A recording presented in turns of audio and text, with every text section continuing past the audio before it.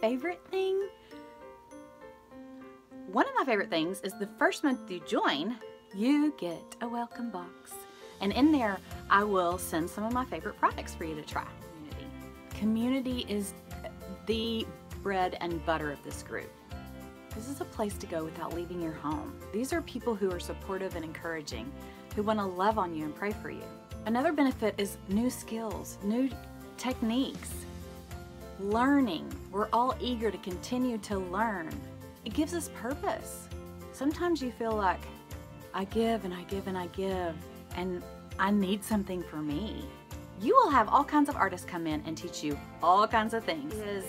You will get printables every month and they could be card printables, they could be little scripture cards, they could, they could be an encouraging scripture that you could print out and frame. Okay, my favorite and most important thing is everything we do is focused on Jesus.